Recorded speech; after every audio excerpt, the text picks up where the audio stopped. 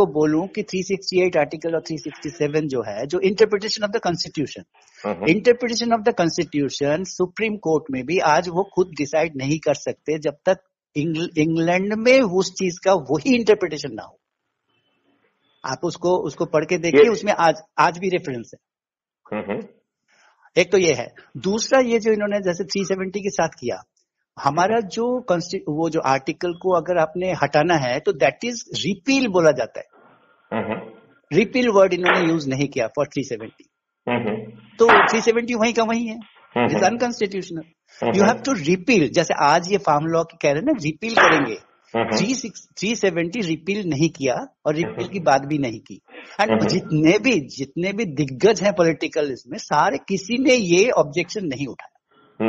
या तो इग्नोरेंट है या डिलिबरेट है in whatever way but जब मैंने देखा कि कॉन्स्टिट्यूशन में एक भी चीज़ जैसे कॉन्स्टिट्यूशन में है कि जो सुप्रीम कोर्ट का जो डीलिंग होगी जो भी हियरिंग होगी that has to be in English ठीक है?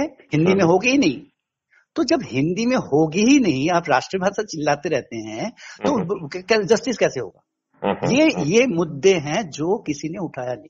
और इन मुद्दों के उठाए बगैर कुछ नहीं हो सकता। आप जैसे मर्ज़ी डिस्क्राइब करिए जैसे मर्ज़ी हम इसको कुछ भी करें। क्योंकि क्योंकि जस्टिस डिलीवर करने के लिए आपको कंसिडर लेकिन आपके अमित शाह तो हिंदी में बोलते हैं तो आप कैसे कह रहे हैं? आपको जो भाषा अच्छी लगती है वो बोल सकते हैं नहीं सुप्रीम कोर्ट में अलाउड नहीं है। It is constitutionally not allowed and they have not इसको चेंज नहीं किया। क्योंकि वो कम, अंग्रेज़ी में अंग्रेज़ी भाषा कैसे करते आए अंग्रेज़ी भाषा में ज़्यादा कंफर्टेबल फील करते हैं वो। नहीं वो तो फील करते हैं वो हम भी फील करते हैं। बट मैं कह रहा हूँ कॉन्स्टिट्यूशन की बात। कॉन्स्टिट्यूशन में लिखा हुआ है। तो इसको हटाओ ना। इसको हटाओ। हाँ, अगर नेशनल लैंग्वेज है। तो नेशनल लैंग्वेज में करो। हाँ बिल्कुल ठीक बात है। इसको तत्काल करना चाहिए। बिल्कुल तो मुद्दा ये होना चाहिए ना कि मुद्दा नहीं उसमें ये कह सकते हैं कि you can use user of to नहीं वो नेशनल लैंग्वेज जैसे अब नेशनल लैंग्वेज आजकल जो एग्ज़ाम होते हैं हिंदी इंग्लिश दोनों में होते हैं ना। हाँ। हाँ तो वैसे सुप्रीम कोर्ट में क्यों नहीं होता? हाँ सुप्रीम कोर्ट में कर सकते हैं बिल्कुल कर सकते हैं। आपका मुद्दा एकदम मतलब आपका मुद्दा एकदम सही है। मैं कह रहा हूँ कि जितने भी लीगल एक्सपर्ट्स हैं किसी ने ये मुद्दा नहीं उठाया। ये तो ये कहाँ लिखा हुआ है जो आप बोल रहे हैं कि अंग्रेज़ी में ही होगा? वो वो कॉन्स्टिट्यूशन का मैं आपको वो बता दूँगा जो आर्टिकल उसका आर्टिकल बताइए। हाँ मैं आर्टिकल नंबर आपको मैसेज कर दूँगा। अच्छा। तो ये दो आर्टिकल मैंने देखे जो इंटरप्रिटेशन और ये जो मॉडिफिकेशन इसका है रिपील का। ये जो इसको हटाने का ना हाँ, तो हाँ. उसमें मॉडिफाई कर सकते हैं ऐड कर सकते हैं या रिपील कर सकते हैं। हाँ डिलीट या रिपील करेंगे हाँ तो रिपील बोला जाता है लीगल लैंग्वेज में और कोई चीज़ नहीं बोली जाती। बिल्कुल ठीक बात है। और इसलिए 370 वही का वही है। क्योंकि हमारे देश की जनता जो है वो इतना इतना समझदार नहीं है कि इस बारीकियों को समझे। हाँ हाँ। तो चल रहा है। अब उनको क्या करना है? उनको इसी पे तो करना है। हाँ, हाँ। उनको इसी पे करना है। अच्छा दूसरी बात यह है कि जब ये बिल होते हैं बिल जो होता है पार्लियामेंट में पेश होता है तो कोई ना कोई एमपी उसको पेश करता है। तो वो कौन सा एमपी था जिसने फार्म बिल को पेश किया? उसकी बात पूछो ना उसने कैसे किया? ठीक है और दूसरा जो प्रोसीजियर है कॉन्स्टिट्यूशनली प्रोसीजियर जो है कि वो बिल पास होगा वो पब्लिक को बताया जाएगा एंड देन डिबेट होगा सब कुछ होगा। ये सब कुछ हटा के उन्होंने पास कर दिया। तो दिस इज़ अनकॉन्स्टिट्यूशनल जो अनकॉन्स्टिट्यूशनल है उसको अगर हम कॉन्स्टिट्यूशनल मान के बात करें उसको सपोर्ट करें या अपोज करें तो क्या होगा? वो तो अनकॉन्स्टिट्यूशनलिटी तो रहता ही है उसमें। हमारे देश की बीमारी ये है। अनकॉन्स्टिट्यूशनल चीज़ को लेके हम उसको मान के दो पार्टियाँ बन जाती है एक सपोर्ट करता है एक अपोज करता है। बट फंडामेंटली वो गलत है। ठीक है ना? अब अब देखिए तो ये अगर गलत है और ऐसे क्या हुआ जितने भी रूल्स बने जब राजीव गांधी ने बनाया था वो जो उसका पार्टी चेंज करने का 1984 में बनाया था शायद। तो तो that was wrong because parliament party के बारे में कैसे कर सकती है? Party is nowhere in the constitution party का कोई रोल नहीं है कॉन्स्टिट्यूशन में। तो हम पार्टी को सिर पे चढ़ाए जा रहे हैं। तो ये जो पार्टी का अब मेरी बात ये कहेंगे तो कोई भी नहीं मानेगा। वो कहेगा तू पागल है हम सब ठीक है। पार्टी के बगैर कैसे हो? अरे पार्टी का रेफरेंस नहीं है so how can you talk about party तो क्या होना चाहिए था? होना ये चाहिए था कि पार्टी तो काम करे दिक्कत नहीं है कोई भी उसको अवेयरनेस और जो भी कुछ करे। But once he is elected as a member of parliament he ceases to be a member of the party now he will be working for his constituency not for the party ये simple सी चीज़ जो मेरे को strike किया ये मैंने किसी भी पॉलिटिकल साइंस के टीचर प्रोफेसर या लॉ के किसी से मैं किसी आप तो ये कह रहे हो मैं तो उल्टा कह रहा हूँ। क्या? कि हमारे सब लोग परचेजेबल हैं। नहीं वो पहले तो पहले तो क्रिमिनल्स हैं राइट देखिए number two just just minute just दूसरी बात है कि उनकी सोच जो है इस एक्सप्लॉइटेटिव सिस्टम से फ़ायदा उठाने की है इससे बदलने हाँ। की नहीं है राइट हाँ हाँ हाँ तो वैसी स्थिति में हम्म यदि हम एक स्टेबल सिस्टम नहीं लाएँगे तो बाहरी की बाहरी फोर्स कुछ ना कुछ मुद्दा उठा के आप यदि आप बहुत अच्छे हैं उनकी बात नहीं सुनते हैं तो हम्म। आपको ही उठक के पटक देंगे वो। नहीं वो तो बिल्कुल तो तो इसलिए हमको सबसे पहला काम करना चाहिए कि we must move from the parliamentary democracy to the presidential form of democracy बिल्कुल और संविधान ने जो फंडामेंटल स्ट्रक्चर किया है ये इनकी अपनी बकवास है। ऐसा कोई फंडामेंटल स्ट्रक्चर नहीं है। फंडामेंटल है कि डेमोक्रेसी होना चाहिए राइट वो, वो डेमोक्रेसी जो है सब डेमोक्रेसी फंडामेंटल और बेसिक स्ट्रक्चर हो सकता है लेकिन जो है ना पार्लियामेंट्री फॉर्म क्यों ना क्यों क्यों जो है ना बेसिक स्ट्रक्चर होगा? So basic structure can should always be change क्योंकि हाँ, हमारे यहाँ तो हर कोई जो है ना परचेजेबल कॉम्युनिटी है। लोग आप पैसे देके ब्राइब देके और जो है ना उनसे जो चाहेंगे उसको गिरवा देंगे इसको उठवा देंगे। तो सबसे पहले तो देश के लिए ज़रूरी है कि उसकी स्टेबिलिटी बनी रहे। मतलब हाँ, सरकार पाँच साल चले तो सरकार यदि जब तक इन काले बिजुकों के हाथ में उनकी सर्वाइवल रहेगा तो ये ब्लैकमेल करेंगे। बिल, बिल्कुल ये तो तो ये इनका तो- इनकी सबसे पहला काम होना चाहिए कि इनकी ब्लैकमेलिंग पावर खत्म कर देना चाहिए।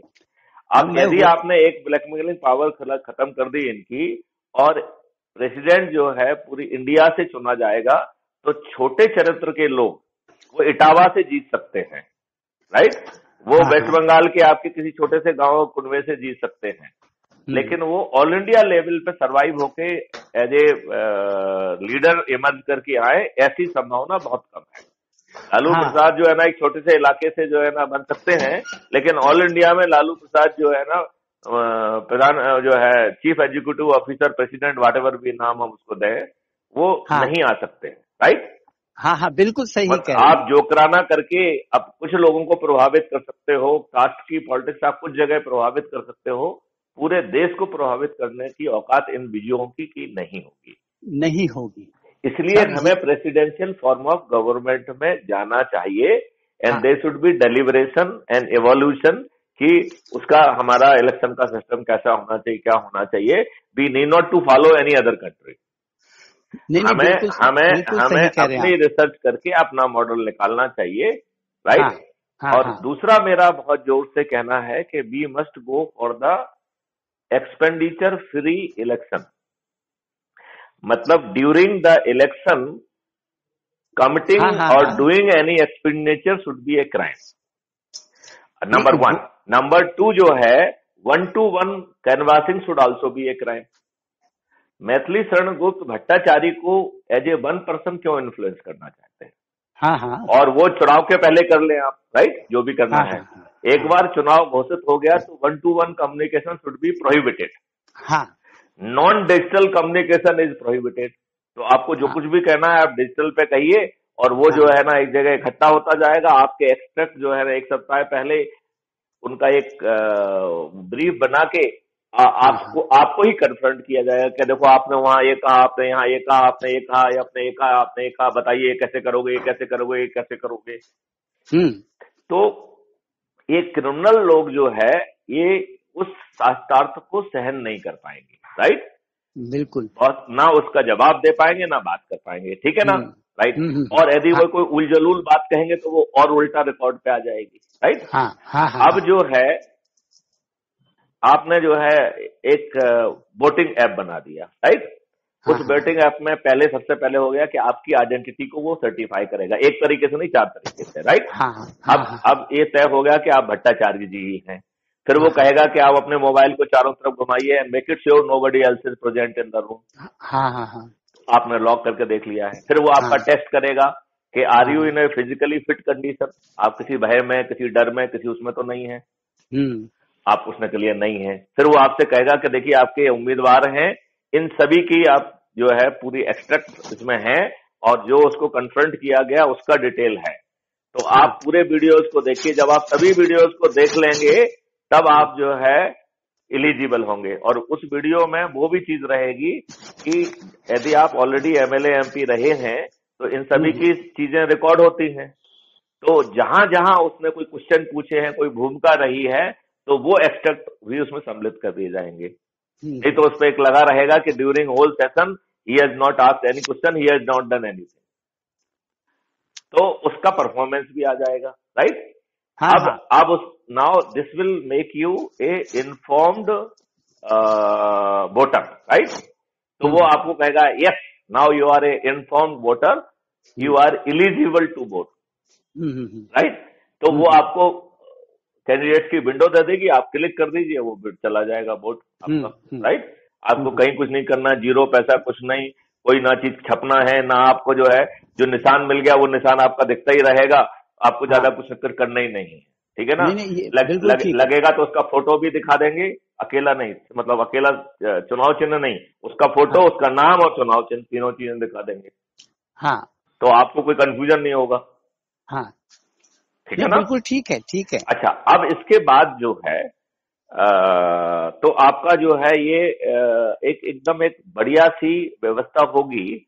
और चूँकि आपको एक्सपेंडिचर करने का स्कोप ही छोड़ने नहीं छोड़ा अब आपको। हाँ, और बल्कि उसको उल्टा कह दिया कि यदि आप एक्सपेंडिचर करेंगे और वो रिकॉर्ड पे आ गया तो आपको जो है ना डिस्कालीफाई हो जाएगा। डिस्कालीफाई हो जाएँगे और आपको आपको जेल भी भेजा जाएगा। वही पनिशमेंट होगी। हाँ पनिशमेंट होगा मतलब कॉग्निजेबल ऑफेंस होगा ना हाँ कॉग्निजेबल ऑफेंस तो, होगा तो, और उसकी पनिशमेंट तो, होगा। तो जब इलेक्शन फ्री वो हो जाएगा तो अच्छे लोग आगे आ पाएँगे। आज आप आज यदि भट्टाचारी खड़ा होना चाहते तो उनके पास जो ना चुनाव लड़ने के लिए दस करोड़ रुपए है ही नहीं। नहीं ये बिल्कुल ठीक अब, है। अब आपको केवल अच्छा इसके बाद हमें वो सुधार भी करना चाहिए। जैसे पहला सुधार हम अभी बार बार ऑनरेबल प्राइम मिनिस्टर से कह रहे हैं नंबर वन एक तो ये हम उनसे कह रहे हैं कि कानून का निर्माता अपराधी नहीं हो सकता है राइट तो सामने वाला कहता है कि साहब ये तो नेता हैं जब कुछ एजिटेशन करते हैं कुछ करते हैं तो कोई केस रजिस्टर हो जाता है तो मैंने कहा चलो दो वॉल्व हम सेफ्टी वॉल्व आपको दे देते हैं पहला बॉल ये देते हैं कि जब आपकी एफआईआर है उसकी विवेचना पूरी होने के बाद यदि चालान न्यायालय में पेश कर दिया है और हम्म। न्यायालय ने प्रामाफेसी साक्ष्यों को देखते हुए यदि आपके विरुद्ध साक्ष्य फ्रेम कर दिए हैं। तो आप इनएलिजिबल हो जाएँगे राइट हम्म। अब दूसरा अपन ये भी दे देते हैं कि आपके खिलाफ यदि कोई ऐसा ऑफेंस कायम हुआ है जो पब्लिक डेमोन्स्ट्रेशन के समय हुआ है तो उसमें मर्डर रेप एक्सेट्रा यदि उसका हिस्सा नहीं है तो उस हम्म। अपराध को आपकी डिस्कालिफिकेशन नहीं मानेंगे राइट हम्म। तो हम्म, अब जो है ना लोग कहे कि नहीं नहीं जब तक का फाइनल अपील अपील में चली जाए तब तक वो अपराधी नहीं है। कानून तो कहता है वो इनोसेंट है तो भैया हम उसे अपराधी नहीं कह रहे हैं। हम कह रहे हैं you are not eligible to become law maker right हाँ हाँ मतलब नहीं कर सकता। हाँ मैं उसे अपराधी अपराधी क्यों नहीं कह रहा? वो सब जो है ना उसको बाकी इंटाइटलमेंट रहेगा ना कोर्ट में लड़ने का लड़ता रहे कोई दिक्कत हाँ. नहीं है राइट अपन ने उसको ये सेफ्टी बाल भी दे दिया है। और यदि मान लो माननीय प्रधानमंत्री जी को लगता है नहीं नहीं तो बहुत अच्छे हैं इनके बिना तो काम नहीं चलता है तो ऐसे सब अच्छे लोगों के फ़ोटो लें और वो भाजपा कार्यालय में लगा लें। उनको रोज जो है ना फूल माला लगाए रोज उनको जो है ना आरती उतारे उनकी जस्ट हाँ, हाँ, और हाँ, और और इतने अच्छे हैं तो उन्हें अपनी पार्टी का अध्यक्ष बना दें स्टेट पार्टी का अध्यक्ष बना दें जिला का अध्यक्ष बना दें ब्लॉक का अध्यक्ष बना दें सभी लोग खप जाएँगे। लेकिन यदि वो अपराधी हैं और ये दो अपन ने जो सेफ्टी वॉल दिए हैं उसको यदि करने के बावजूद भी यदि वो इनएलिजिबल हैं हम्म। तो उन्हें कानून का निर्माता नहीं बनना एक तो हाँ। हमने ये मांग रखी है राइट हाँ।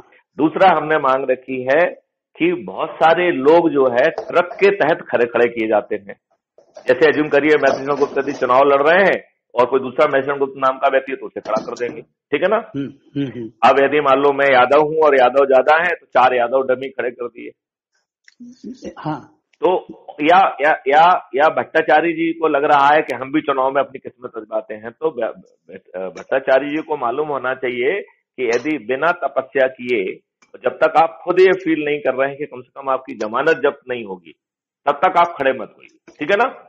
बिल्कुल आपको बिल्कुल लगता है कि आपको लगता है कि भाई मैं तो जीतने की स्थिति में हूँ नहीं तो भैया जो सबसे बेस्ट कैंडिडेट आपको लग रहा है या तो उसे खड़ा कर दीजिए और नहीं तो जो ऑलरेडी खड़े हुए हैं अच्छे कैंडिडेट तो उनमें से किसी को सपोर्ट कर दीजिए।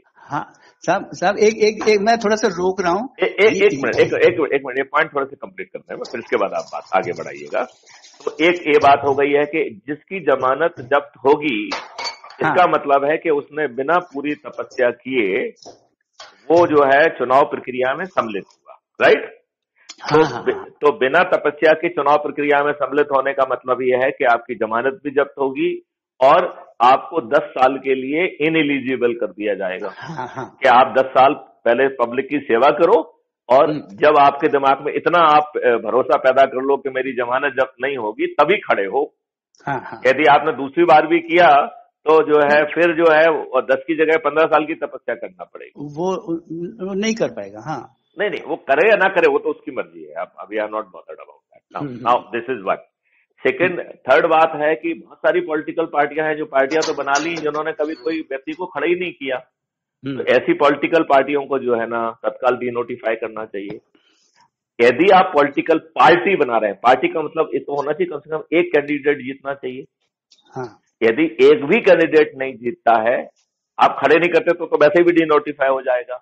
यदि हाँ। आप खड़े करते हैं और एक भी व्यक्ति व्यक्ति नहीं जीतता है राइट हम्म, तो हम्म, तो आप जो है पंद्रह साल के लिए या दस साल के लिए आपको डी नोटिफाई कर दिया जाए। हाँ। ठीक है ना? अच्छा अब आप ये कहते हैं कि नहीं नहीं साहब अभी तो हम तैयारी कर रहे हैं वी आर नॉट रेडी तो आप डिक्लेयर करिए कि I I declare my party dormant for a year या हाँ। Dormant for two years right हाँ ठीक है। क्योंकि इस दौरान मैं तपस्या करूँगा कोई आदमी खड़ा नहीं करूँगा। हाँ। ठीक है ना? लेकिन हाँ। हंसना और गाल फुलाना नहीं हो सकता है। ठीक है ना? हाँ हाँ हाँ। यदि आप जो है ना आपने खड़ा नहीं किया और ये भी डिक्लेयर नहीं है क्या किया कि हमने साहब जो है ना दो साल के लिए अपनी पार्टी को डोरमेंट रखा है तपस्या करने के लिए तो भी आप जो है ना डिनोटिफाई हो जाएँगे।